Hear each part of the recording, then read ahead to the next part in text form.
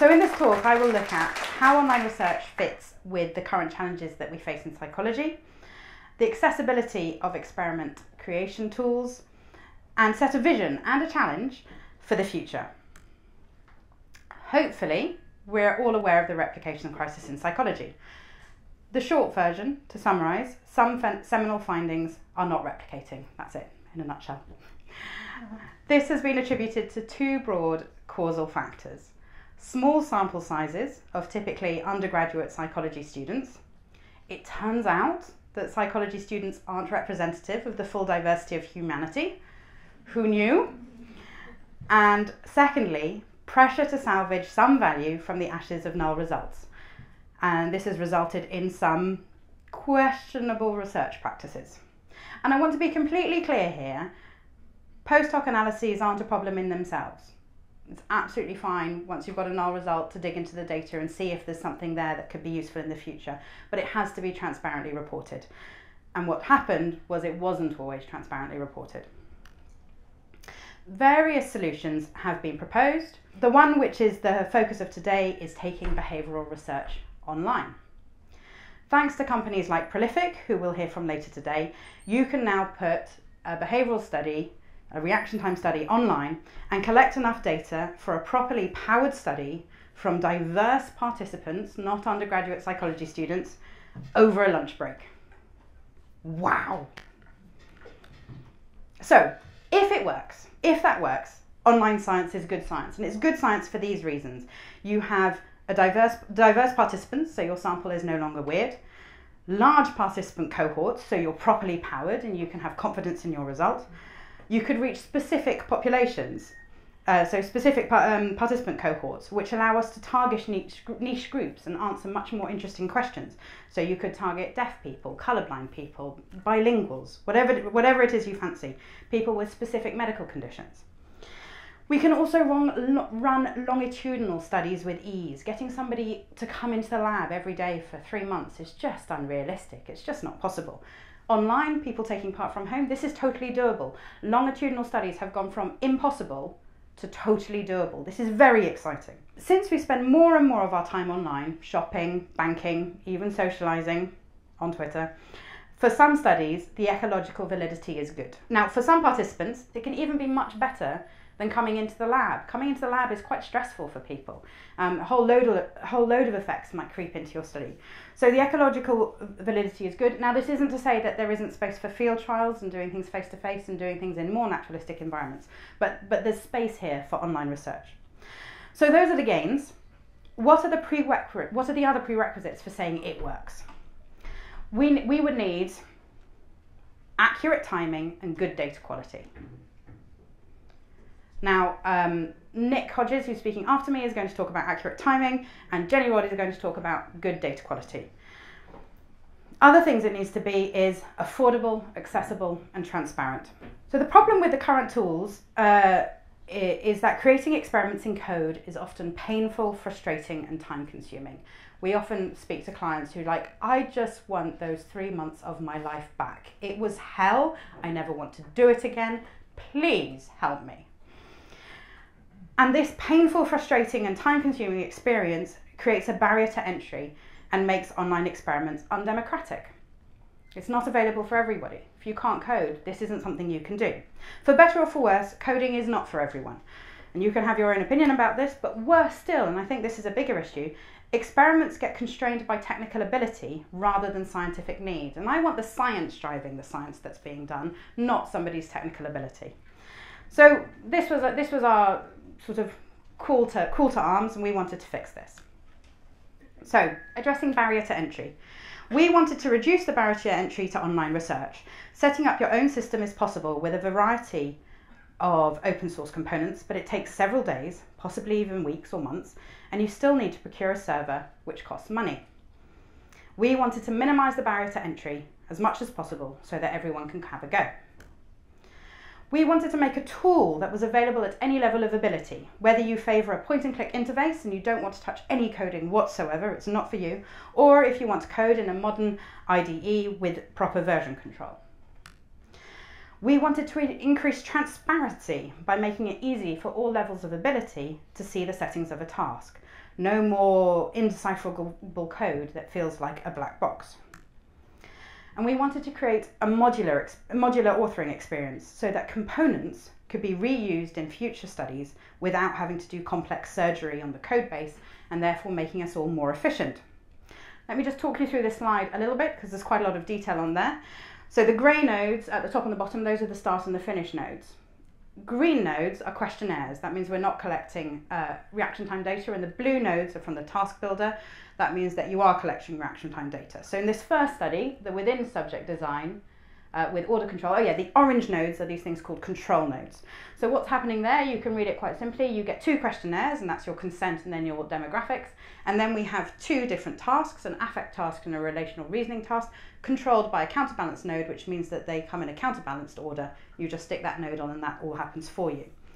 Same components in the next one. We've got a between subject design by using the randomizer instead. So here we've just got the relational reasoning task. We've got the same two questionnaires the two relational reasoning tasks, and we've got the randomizer as the control node, pushing people into different directions. And I think that's set up to do block randomization. Now use these two control nodes together, you can get an intervention design. So you've got, it's the same components again, we haven't written any new code here, haven't written any new tasks or any no, new content, we're just sticking it together in a different order.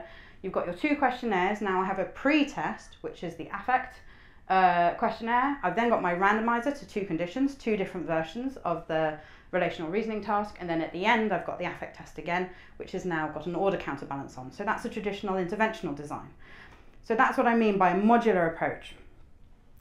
The component approach has two benefits. It's much easier for your own lab to run variations on a theme. Uh, your PhD student could create one task, and then you could use this in lots of different ways, maybe with different stimuli, maybe in different experimental designs again and again and again, very easily. It's also easier for other labs to do the same. They could get in touch and say, oh, I'd really like to use this task that you used within that experiment, and you can just send it to them. We wanted to provide powerful nodes that make complex experiments designs as easy as simple ones. In this slide, you can see uh, repeat and delay nodes being used to set up a five-day longitudinal study with email reminders. So in the first one, you've got the questionnaire, then we get the repeat node, and then there's uh, the task, and then a delay node, and then we hit the second bit of the repeat node that sends you back five times. So it's literally, you're just linking this together, and Gorilla will do all of the daily reminders. You set how long you want on the delay node. Is it, is it an hour? Is it a day? Is it a week? And that will all happen automatically.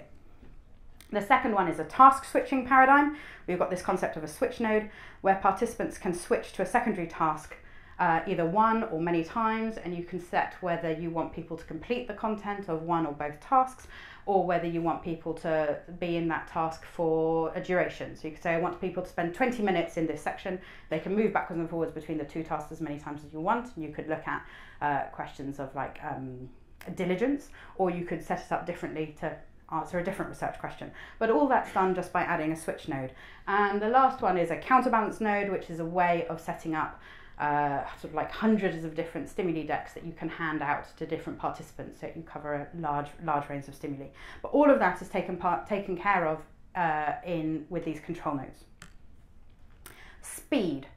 We wanted to provide tools that make us more efficient we're all so time pressured. I don't know anybody who doesn't say, I'm so busy at the moment.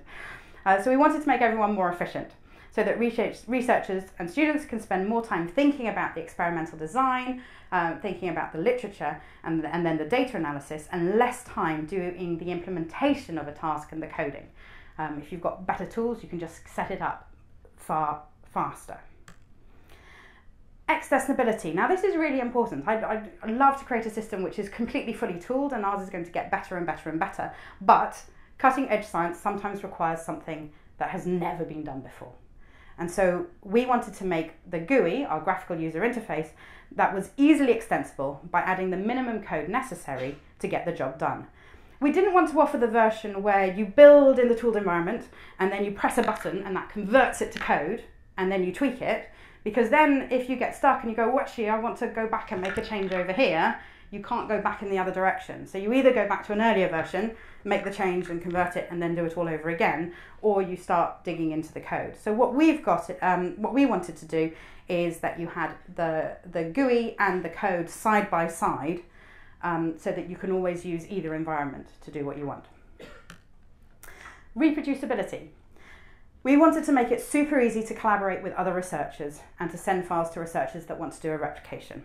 I'm sure many of us have had the experience of trying to collate all the files needed to run a task and get it all together to send to colleagues. Um, and there always seems to be a file missing or you've got a version mismatch in your software. Nice thing with cloud software is that never happens.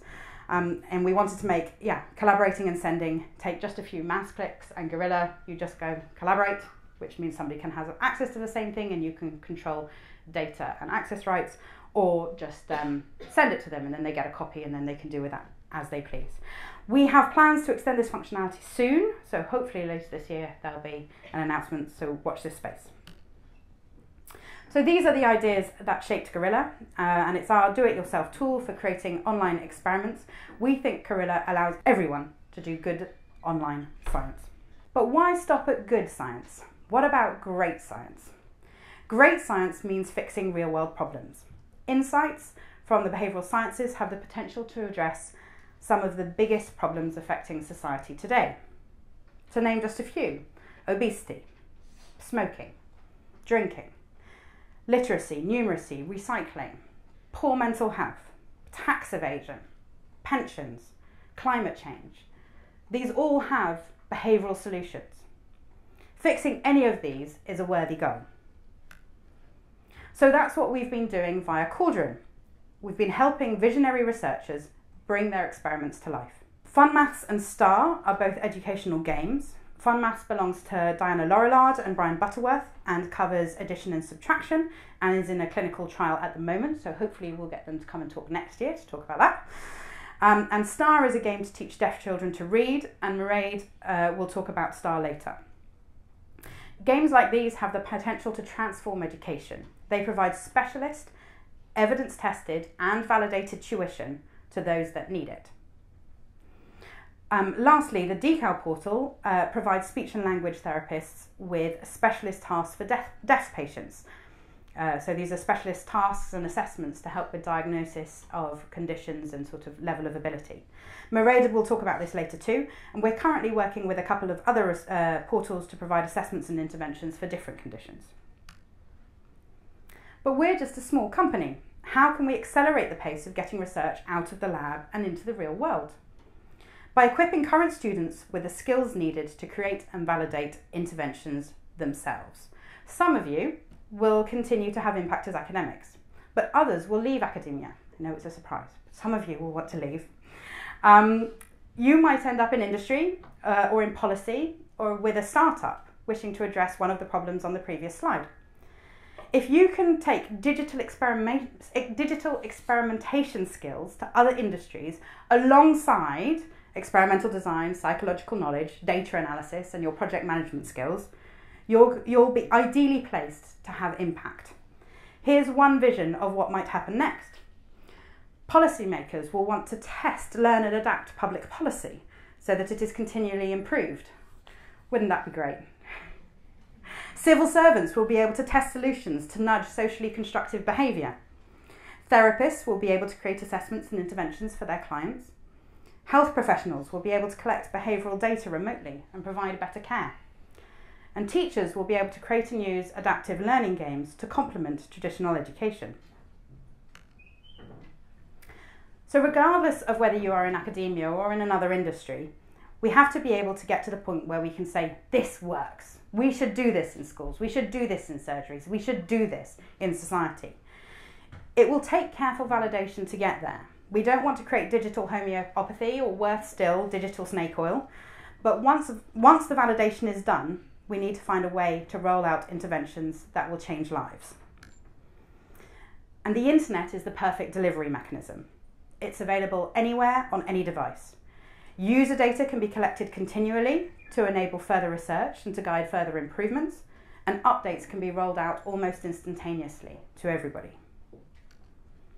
We imagine a future where digital interventions that make people's lives better can be built, tested, deployed, and updated quickly, cheaply, and easily. We aren't there yet, but that's our mission.